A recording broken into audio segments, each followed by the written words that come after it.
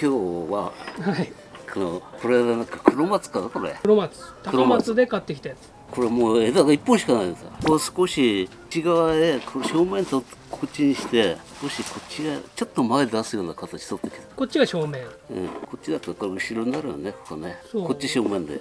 ね。はい。こんな感じもうこれ一本だから枯れたらここれでここがあの避け取りなんかしたらもうおしまいななんで、はい。テープ巻きます。これねこれ1ヶ月前にこのビニールテープ巻いたんですよこれ。で結構持ってるんで枯れないで持ってるんでこれビニールテープいいかなと思うんでなるほど。これでやってみます。これ二重に巻いてきますから。あとね心拍もやったんだこれ。だ大丈夫なんですよ。大丈夫です。一応接ぎ木ここだと多分折れちゃいますよねここね、うん。ここ折れちゃうで。多分これ大丈夫そうだと。うん接ぎ木ではなさそうだ接ぎ木でなさそうだね。接ぎ木ではない。ななるべく小さくくちっちゃくしたいんですけうど、んうん、できればねもっとこうたがればいいんだけどちょっと無理かな。ちょっと難しそうかなっていう難しいかなって感じ少しこう枝を前にこう持ってくるような形。ああでその前にテープ巻いておきます。わかりました。養生してラフィアの代わりですよね。ラフェアよりラファエルねこれこっちで伸びるじゃない、はい。結構持つかわかんない。ラファエルまあ、これも、うん。まあ、実験ですよね。実験中。夏一回やったんだけどね。夏だと蒸れちゃうですよ。あれはね ちょっと時期が悪かった。あなるほど。これはあのなんだっけ？画風店だっけ？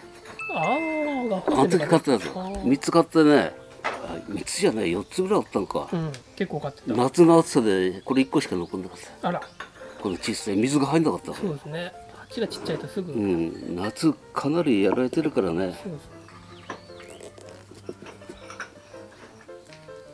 いやこれ春までにはこうテープ取るようですよね。そうですね。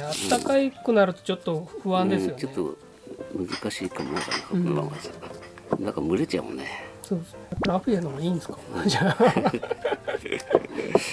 これ2回巻いてきますからね、はい。ちょっとでこれアルミ線でいきますから。は線かけないで。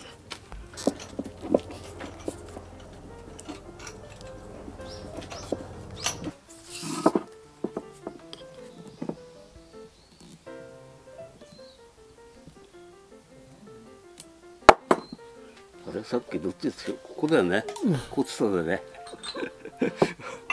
これでいきましょう。はい。じゃあ針金かけます。はい。2ミリいくか。でも一本だけですからね。すぐすぐ終わっちゃうかもしれない。すぐ終わっちゃうかもね。たまには短い動画もいいかもしれない。あとこれも針金かけなくちゃいけないね。あそうですか。先端を。こうだな。こう向きだうんうん。あの変わったかけ方っぽい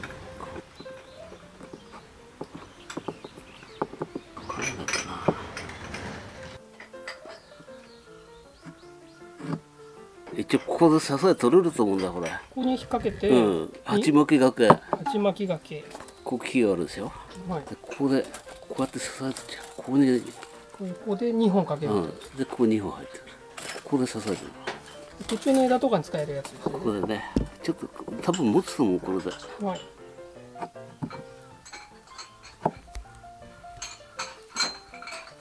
これ割と古いですよね古い、か結構立ってるよこ立ってて、れ、うん、まあ、この大きさで、この太さだよこれ。うん。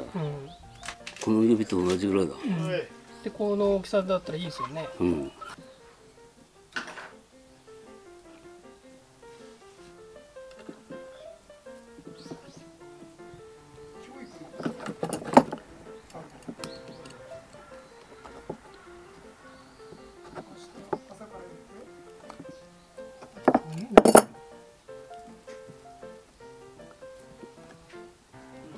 とねこあとここ針金入れます。はい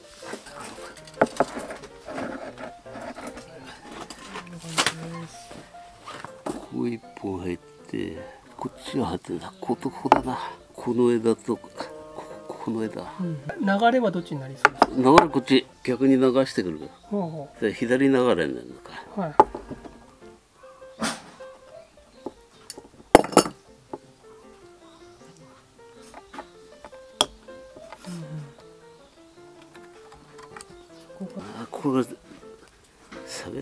げたいねここまでね。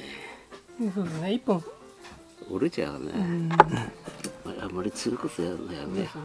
買った時はもう本当下のこのここの空間うん。ここに入れたかったここにそう。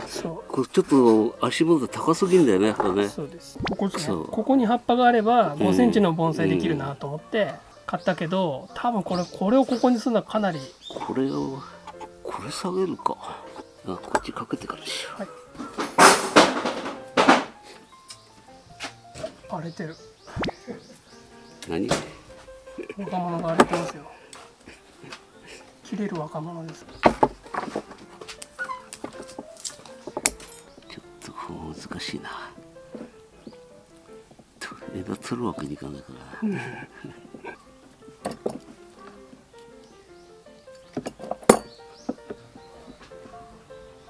ちっちょっと流れが見えるここだ缶抜きになってんのかな？こうなっちゃう缶抜けもう3本出てるね。ね一本取っちゃってもいいんじゃないですか？取っちゃう？取っちゃう？三本残しておきます？うん。一応残しながらや。そうしましょう。か細かい針金かけはあんま好きじゃないんでしたっこれだ結構時間かかるところけだから意外と。簡単に終わんないよ俺。すぐ終わるぞなんて言ってたのに。針金入っていかないことだったね造船が良かった。どうせの前が太いんだよ俺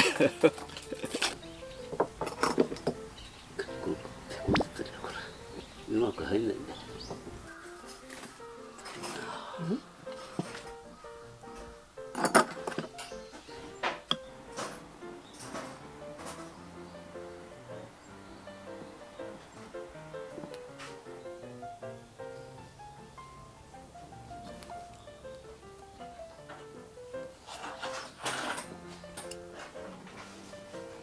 おお。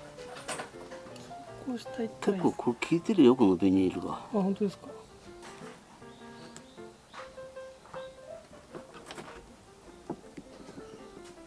こう結構少し来たかこれ。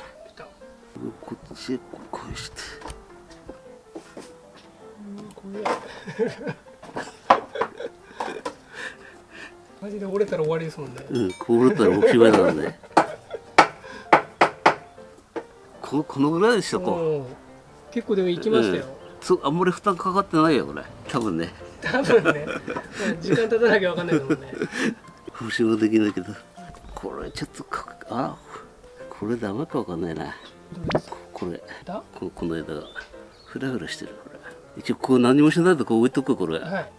でもそこ缶抜きのとこじゃないですか。うん。缶抜きのところ？うん違う。だから3本になってんだこれ。そうですそうです切っちゃってもいいですよね。き聞こえるかわかんない。これ2本あるからね。これなくても大丈夫だね。そうですね。一応このままキープしとくね。うんとしておくの？こっちは大丈夫だと思ってもしこっちが枯れた時俺使う。とかこれは枯れるかもわかんない。ちょっとなんか動画的に完成形が綺麗な方が最終的に？じゃあ取っちゃおう。全然いいです。動画を優先するっていう。取っちゃおうじゃあ。はい。これね表面はこうさっきと変わらないここのぐらい来てもいいかな。うんさっきこの辺だった。この辺だったけどちょっとこう来てもいいかなって。今の状態だと前に枝ないじゃないですか、うん。こここですよね正面。前なくてもいいでしょ。こここういうの前枝持ってくれば？あ伸ばして。うん。この辺からこう持ってくるとか。これだとちょっとゴツゴツしすぎちゃうねやっぱりこのサイズ的にここが長すぎんだよね、そうですね。だから。あとまた作り変えるんだったらもっと足元ギュッと締めちゃってで発見が揺れまあ。こうギュッと締めてもうちょっと根っこ出して。なるほど。あここ全部並んじゃったなこれ。一直線でした。こいつ落としてくればいいんじゃないですか。これもちょっと落とすかこれ、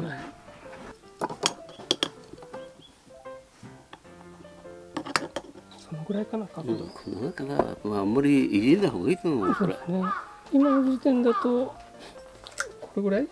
うん。これが裏枝になって。これ裏間になる。こいつがちょっと行き場がここれがね当たっちゃいますね。ここ頭にしちゃってもいいんだよね。うん。これ。これがなんかぐーっと下がってくる。ちょっともう一回やってみるか ダメになっちゃうねここれダメだね。後ろ行ってもダメだよ、とりあえずでも残しといた方がいいですうんね、このままのがいい、こう来春もまたこれ芽がいっぱい出てくると思うんだよね。はいはい。そしたらもう一回作り直せばいいか。とりあえず今日はこんなオーライ、うんこのぐらいだね。これ以上やると目が見えなくなっちゃう。ただねここに少し曲が入ったからこれは、そうですね、サイズもねちっちゃくなりましたからね。うん、これこの葉っぱをここの頂点より下げればね、うん。ここが目立たなくなると思うんだよ次の段階だねこれ。はそうですね、というわけでうん。これはもう高松で買ってきた、ちょっと劇的なとこはなかったけどね まあたまにはこういうのもいいんじゃないかと、うん一応やっぱ古くて幹古くてうん。まあこの辺は面白いけど、まあ、ただの棒だったうん。ものをまあこういうふうに作っていけば、今回やったのはここに模様がついたんですよこそうれですね。これであのちゃんとできてくるやね。そうそういうことでした、うん。たまにはこんな回もあってもいいんじゃないか。これねでも3000円ぐらいだったんですよ3本ぐらいあった？さ3000円ぐらい。あ3000円、うん。これ安いね。そうへこの古さで。えだってこれ10年以上経ってると思うよ。立ってます立ってます多分。でちゃんとこんだけの鉢入ってんだから。だけどやっぱ枝が面白くなかったからだと思うんですうん。よその値段だっていうのを。こういうのを見つけて、まあ、こういうふうに作っていくのもいいんじゃないかと、ここはうまくいったと思うこの、うん。もう曲が入ったから。はい、ということでした、はい。これ動線かかればよかったアルミ線太すぎた。は ありがとうございます。い。今年もですね昨年に引き続き金沢で大宮盆栽の展示を開催することになりました。11月の18日から23日まで、えー盆栽の展示をします。